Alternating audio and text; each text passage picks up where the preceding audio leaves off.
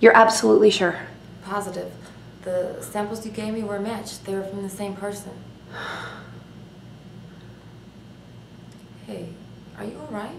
No. What was he doing here? Um, Morgan, what was he doing here? it was a blood sample. He needed me to compare two blood samples. What blood samples? I don't know. One of them was from the Ba- Bautista shirt, the guy who attacked him. What about the other one? What about the other one? He, he didn't say. And um, am I in some kind of trouble? Very nice.